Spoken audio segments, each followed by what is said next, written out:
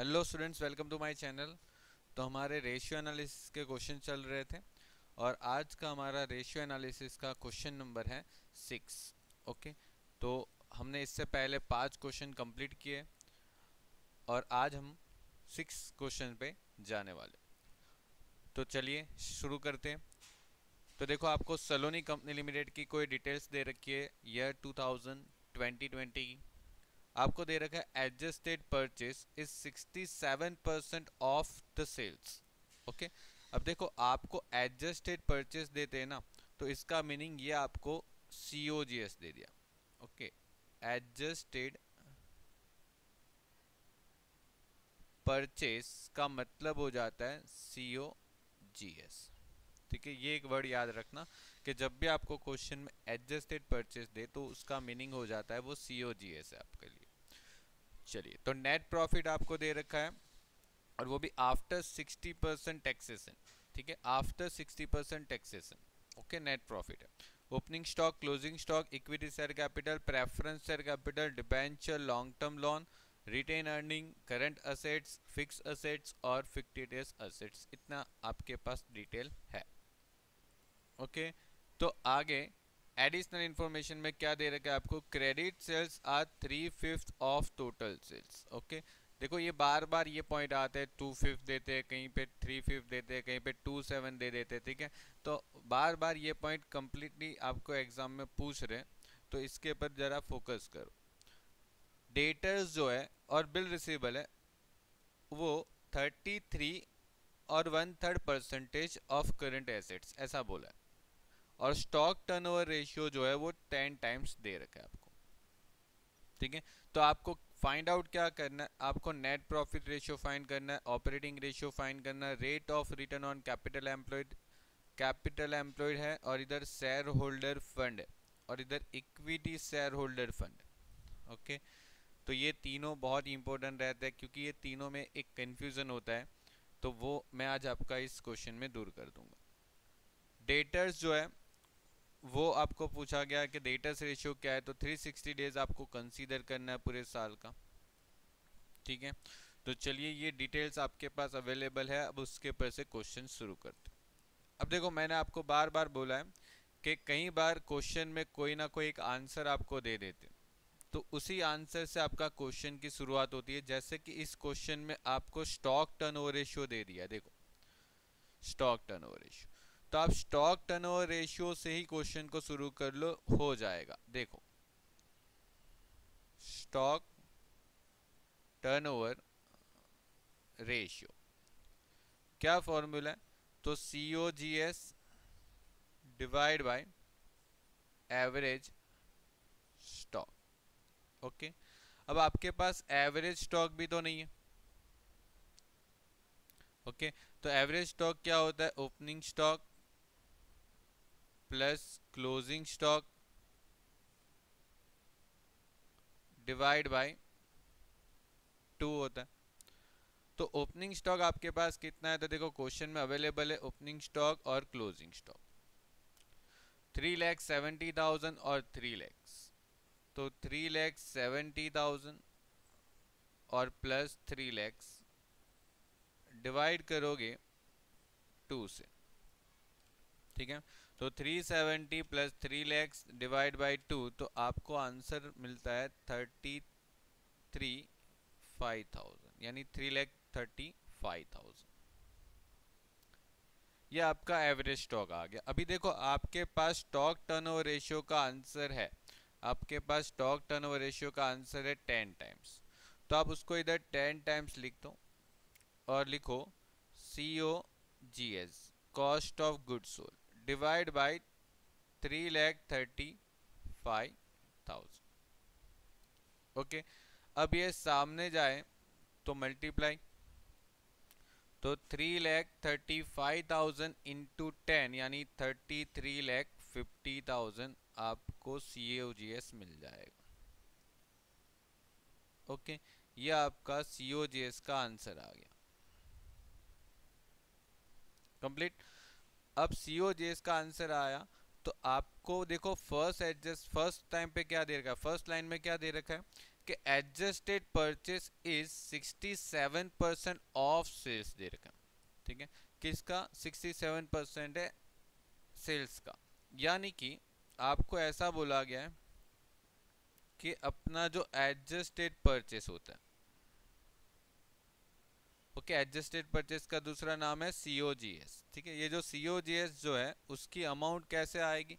तो आपके पास जो सेल्स होगा ना, उस सेल्स का आप 67 परसेंट करोगे तो आपको क्या मिलता है? एडजस्टेड परचेस ये लाइन का मतलब ये होता है।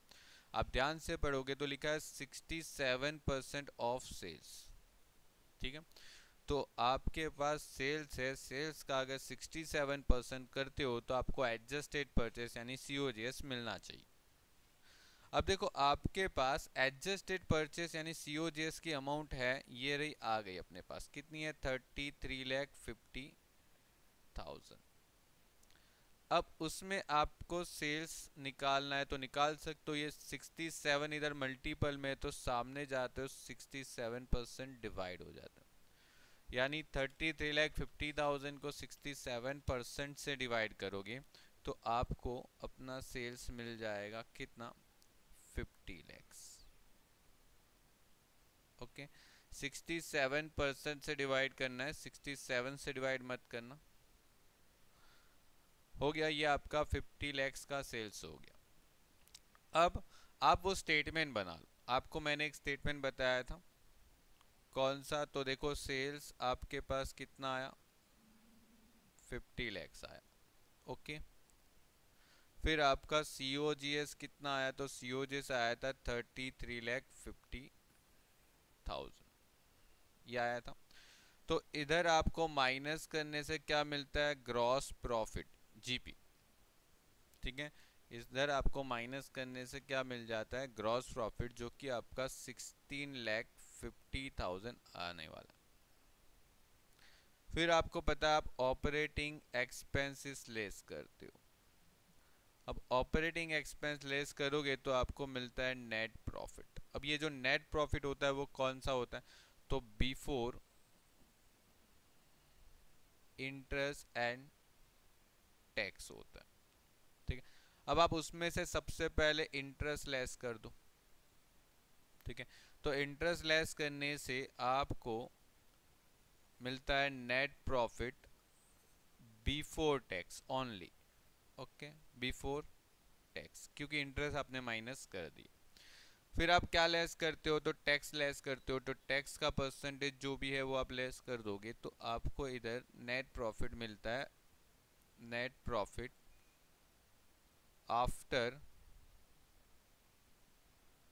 interest and tax okay ये स्टेटमेंट आप बना लो, बहुत काम आने वाला है। कहीं ना कहीं कुछ ना कुछ फॉर्मूला तो इस फॉर्मेट के अंदर से पूछ ही लेंगे।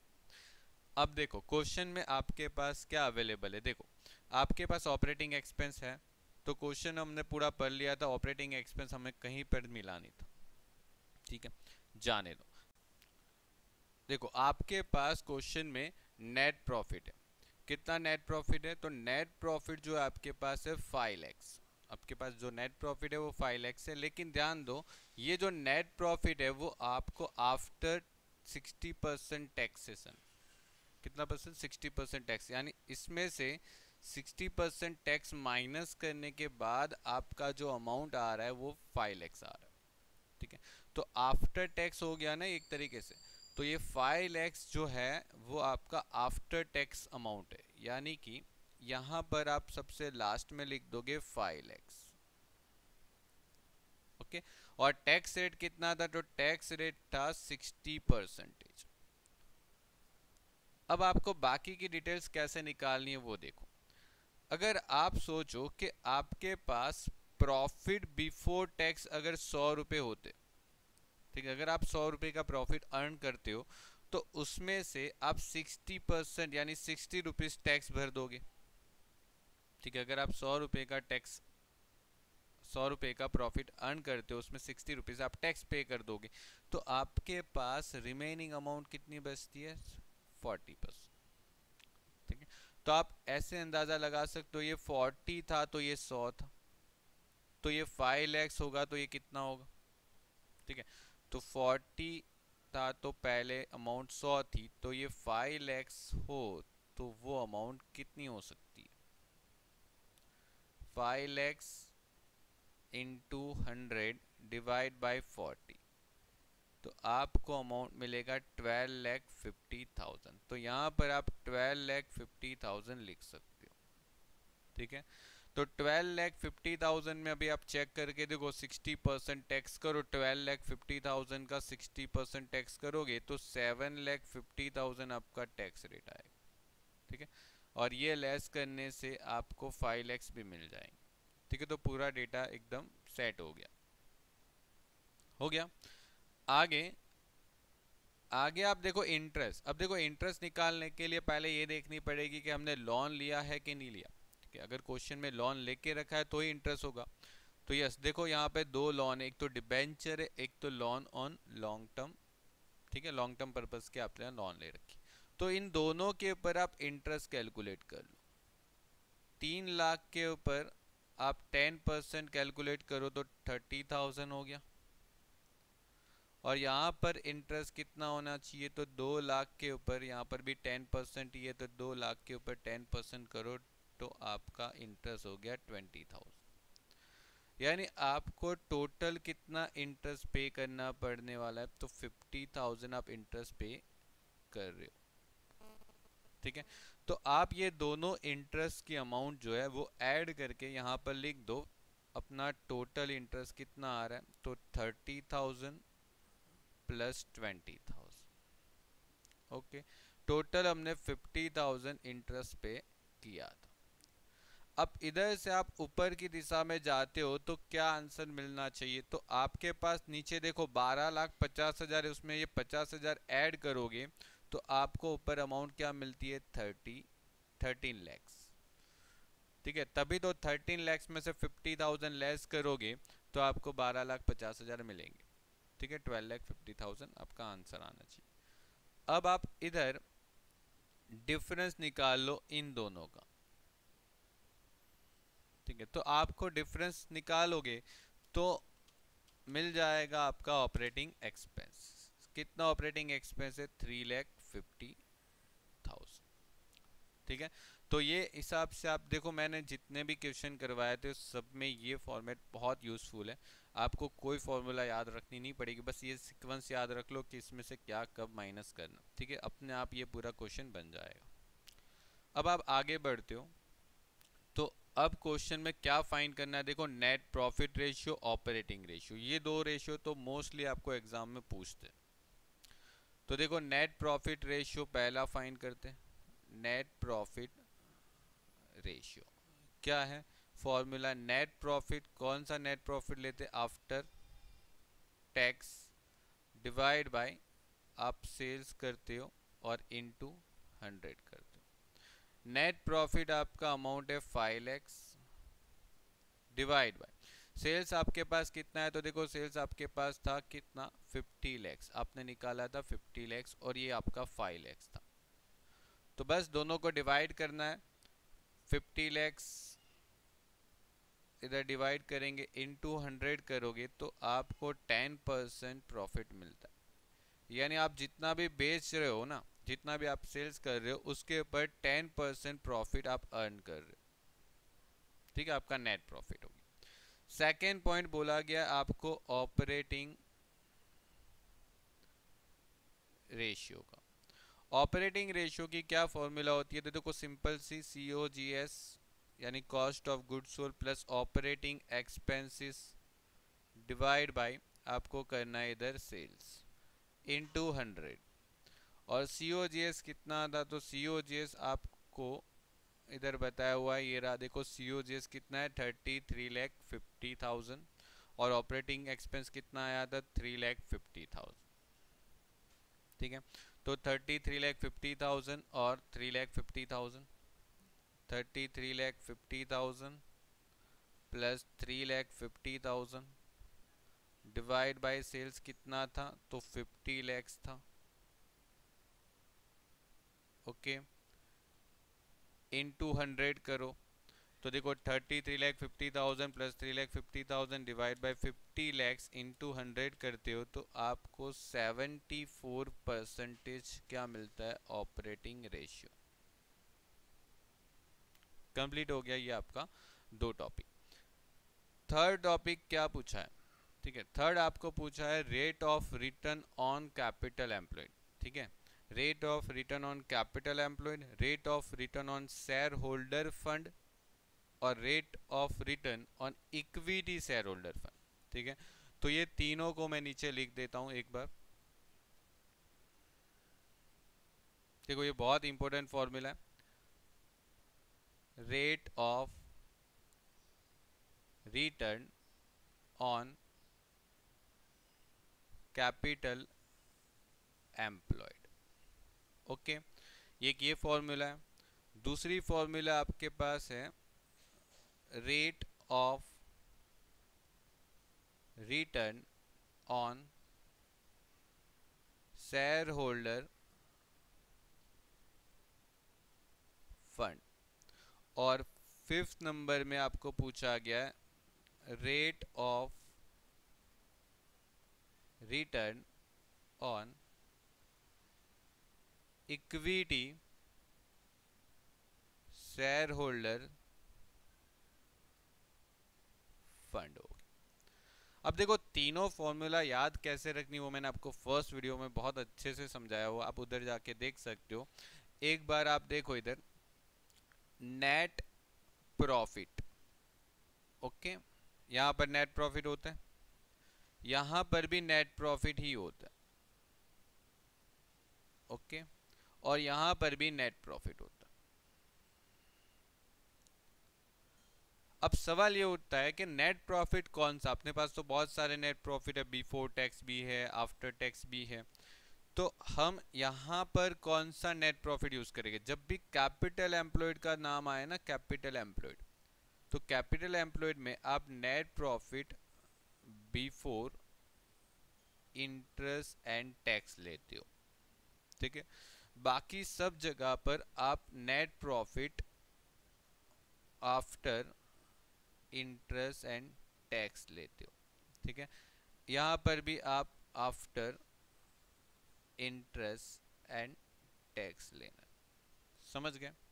पहले तो ये कंफर्म करो कि नेट प्रॉफिट कौन सा कब लेना ठीक है? जब कैपिटल एम्प्लॉयड की बात होती है, तब आपको बिफोर इंटरेस्ट एंड टैक्स लेना कंप्लीट अब आपको डिवाइड क्या करना है, वो तो बड़ी सिंपल सी टॉपिक है। देखो कैपिटल एम्प्लॉयड है तो आप कैपिटल एम्प्लॉयड से डिवाइड करोगे। ओके इनटू हंड्रेड अब यहाँ पर आपके पास क्या है? तो शेयर होल्डर फंड है ना तो आप शेयर होल्डर फंड से डिवाइड करोगे। Share holder fund okay into hundred और यहाँ पर आपके पास कौन है? तो इक्विटी शेयर होल्डर फंड है। तो आप equity share holders equity share holders fund ले लोगे। ओके अब देखो, मैंने आपको फ़र्स्ट वीडियो में जब फॉर्मूला समझाया था तभी मैंने बोला था कि जब भी इक्विटी वर्ड आ जाता है ना इक्विटी तो हमेशा एक चीज़ याद रखो कि प्रेफरेंस शेयर पे जो डिविडेंड है वो आपको लेस करना पड़ेगा। Preference share dividend okay into hundred करना। प्रेफरेंस शेयर पे जो डिविडेंड है वो आपको लेस करना पड़ेगा। बिकॉज़ देखो, इधर इक्विटी वर्ड आ गया तो आपको प्रेफरेंस डिविडेंड हमेशा लेस करना। अब देखो, इधर सिर्फ़ शेयर होल्डर था। कौन से शेयर होल्डर वो नहीं बोला। तो बस चलेगा, आप लेस कुछ नहीं करना, कुछ माइनस करने की ज़रूरत नहीं। क्लियर अब सवाल ये है कि आपके पास क्या कैपिटल एम्प्लॉयड है शेयर होल्डर फंड है share holder equity share holder fund है? तो बस वो भी फाइंड कर लेते चलो। सबसे पहले आप कैपिटल एम्प्लॉयड फाइंड कर। लो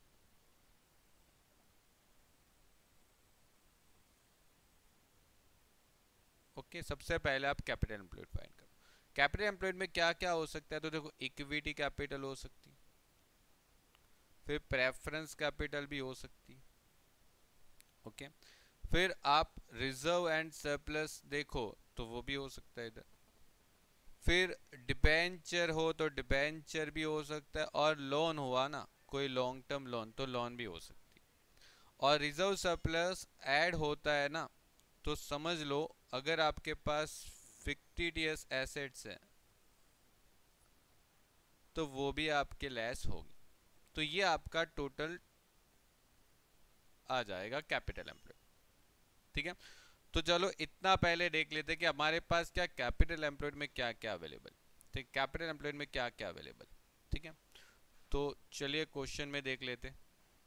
देखो क्वेश्चन में आप देखो तो आपके पास इक्विटी कैपिटल भी है प्रेफरेंस कैपिटल भी है डिबेंचर भी है लॉन्ग टर्म लोन भी है।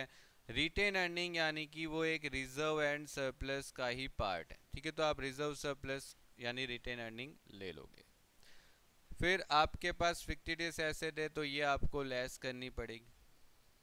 ठीक है तो चलो twenty lakhs plus ten lakhs plus three lakhs plus two lakhs plus five lakhs reserve surplus और माइनस करोगे वन लैक्स फिक्टिडियस एसेट्स तो आपका आंसर आने वाला है थर्टी नाइन लैक्स कितना आने वाला है? थर्टी नाइन लैक्स आपका आंसर आ रहा है कैपिटल एम्प्लॉयड का. ठीक है? तो चलिए इधर लिख देते हैं। देखो इक्विटी कैपिटल कितना आया था? तो ट्वेंटी लैक्स आया था। फिर प्रेफरेंस शेयर कैपिटल आया था तो टेन लैक्स आ गया।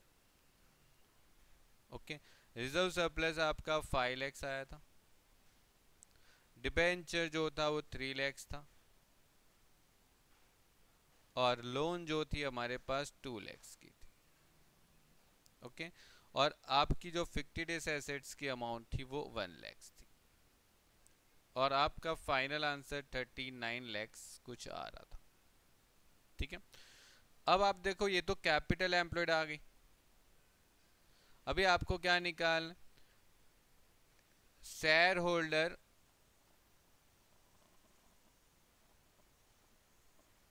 फंड ओके आपको शेयर होल्डर फंड भी निकालना है और इधर इक्विटी शेयर होल्डर फंड भी निकालना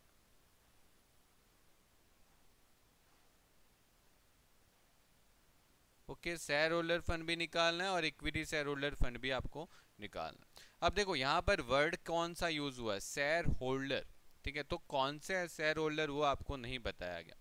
तो आप इक्विटी शेयर भी कंसीडर कर लो twenty lakhs okay preference share भी कंसीडर कर लो टेन लैक्स क्योंकि शेयर होल्डर बोला है, बस कौन से शेयर होल्डर वो आपको स्पेसिफाई नहीं किया गया। अब फंड बोला है तो फंड बोला है तो आप क्या ले लोगे? फाइव लैक्स का रिज़र्व सरप्लस भी ले लोगे। ओके अब देखो डिबेंचर जो होता है ना, वो शेयर होल्डर थोड़ी होते, वो शेयर होल्डर थोड़ी होते। ठीक है? डिबेंचर लोन जो होती है, वो तो हमारे बिज़नेस से बाहर से हमने किसी से लोन पे लिया होता है पैसा। ठीक है? तो वो हमारा बिज़नेस में ओनर्स का फंड नहीं होता ही ठीक है? और फिक्टिडेस एसेट जो होती है, वो तो मैंने आपको बोला कि माइनस होगी, क्यों माइनस होगी? क्योंकि आप रिज़र्व सरप्लस को ऐड कर रहे हो। तो ये आप कर लो तो आपका आंसर कितना आ रहा है? थर्टी फोर लैक्स ठीक है? इसको हम ओनर्स फंड भी बोलते हैं। ठीक है? इसको हम दूसरे टर्म में ओनर्स फंड भी बोल सकते हैं। ठीक है? शेयर होल्डर फंड मीन्स के ओनर्स फंड हो जाता कंप्लीट हो गया। अब देखो थर्ड में आपको क्या पूछा? है इक्विटी शेयर होल्डर्स फंड अब देखो, इधर जो वर्ड यूज़ किया है, वो इक्विटी शेयर यूज़ किया। तो आप सिर्फ़ इक्विटी शेयर को ही कंसीडर करो। इक्विटी शेयर कितना है? ट्वेंटी लैक्स ओके प्रेफरेंस को छोड़ दो। अब देखो, इधर फंड लिखा है तो यस बिल्कुल आपको फंड लिखा है। ठीक है तो फंड लिखा है तो आप रिज़र्व सरप्लस को कंसीडर कर लो। कितना आने वाला है? फाइव लैख और ये दोनों तो पहले ही निकल गए थे। तो रिज़र्व सरप्लस ऐड होने के कारण ये फिक्टिडिस एसेट्स भी लेस होगी। तो आप इसको लेस कर दो तो ट्वेंटी फोर लैक्स आपका आंसर आ गया। ठीक है? अब देखो, आपके पास तीनों तीन की अमाउंट आ गई। पहली अमाउंट आई थर्टी नाइन लैक्स दूसरी अमाउंट आई थर्टी फोर लैक्स और तीसरी अमाउंट आई ट्वेंटी फोर लैक्स ओके तो आप इधर लिख दो अभी, सबके डिवाइड में। पहले में क्या डिवाइड करना है? Thirty nine lakhs into hundred करेंगे। ठीक है? जो भी आंसर आया निकाल देंगे बाद में। इधर कौन सा आंसर आया था? तो थर्टी फोर लैक्स आया था।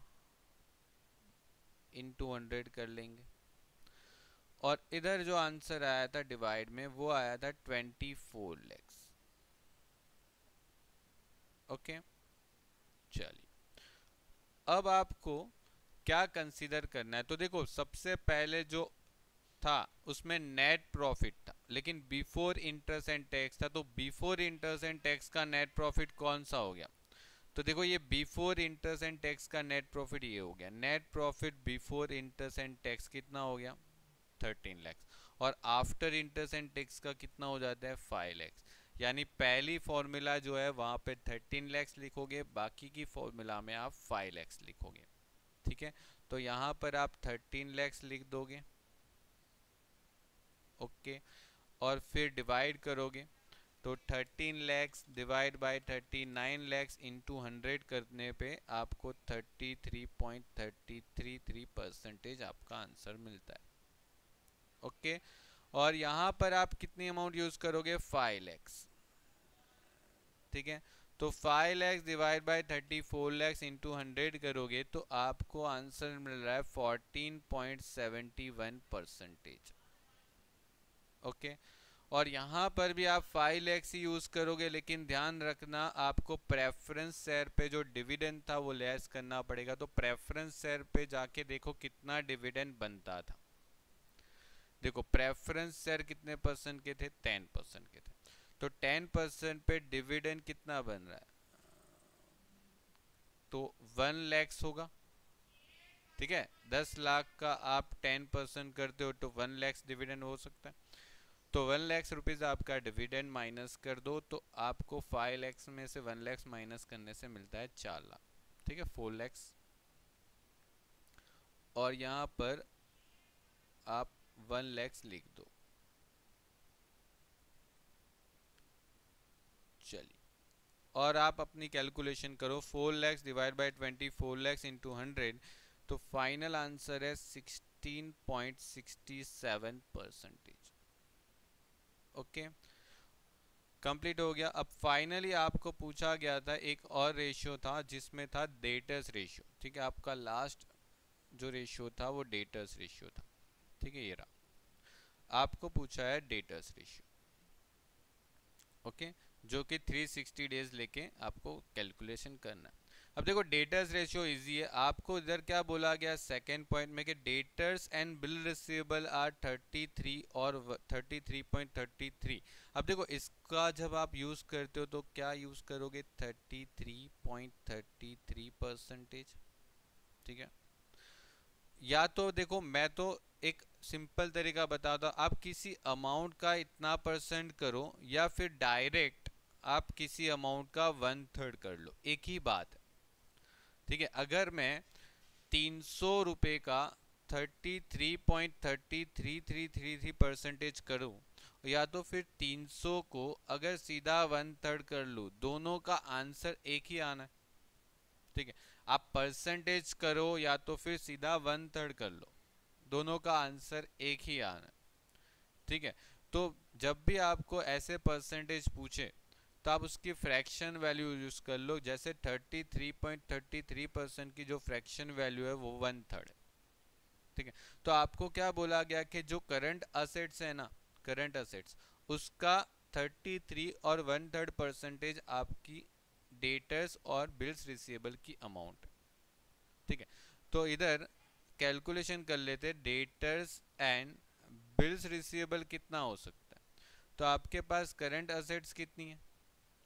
15 लैक्स तो 15 लैक्स की करंट असेट्स का आप वन थर्ड कर लो, या तो आप 33.33 परसेंट करो। एक ही बात है, आपको 5 लैक्स ही मिलता है आंसर इससे एकदम परफेक्ट आंसर मिलेगा, उसमें आपको कुछ 49 four lakhs ninety nine thousand ऐसा कुछ आंसर मिलता है, ये एकदम परफेक्ट आएगा तो यहाँ पर आपको डेटर्स रेशियो में काम आ जाएगा ये चीज़। तो डेटर्स रेशियो की फॉर्मूला पुट करते हैं। चलिए। तो डेटर्स रेशियो क्या है? Debtors plus bills receivable divide by credit sales into number of days अब देखो डेटर्स और बिल रिसीवेबल दोनों मिला के अपने पास फाइव एक्स आया।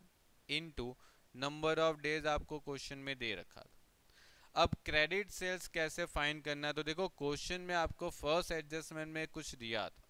क्वेश्चन आप देखो तो फ़र्स्ट एडजस्टमेंट आपको क्या दे रखा है?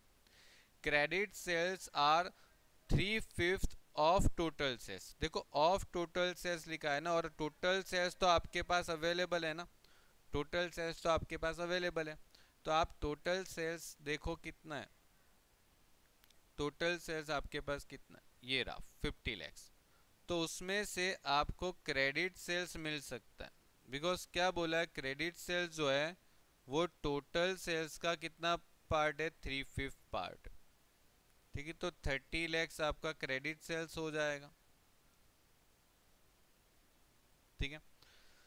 तो क्रेडिट सेल्स जो है, वो आपका थर्टी लैक्स हो रहा है। तो आप थर्टी लैक्स लिख दो इधर। ओके और फिर five lakhs into three sixty divide by thirty lakhs करने पे आपको आंसर मिलता है सिक्सटी डेज़ ओके इसके पीछे आप डेज़ लिखोगे। तो ये आपका क्वेश्चन सॉल्व हो गया। ठीक है? अच्छा क्वेश्चन है। यूनिवर्सिटी ने बहुत बार प्रीवियस ईयर के पेपर में आप देखोगे तो ये क्वेश्चन पूछा है। ठीक है? अलग अलग फिगर लेके। तो चलिए फिर नेक्स्ट क्वेश्चन मैं लेके आऊँगा। तब तक के लिए गुड बाय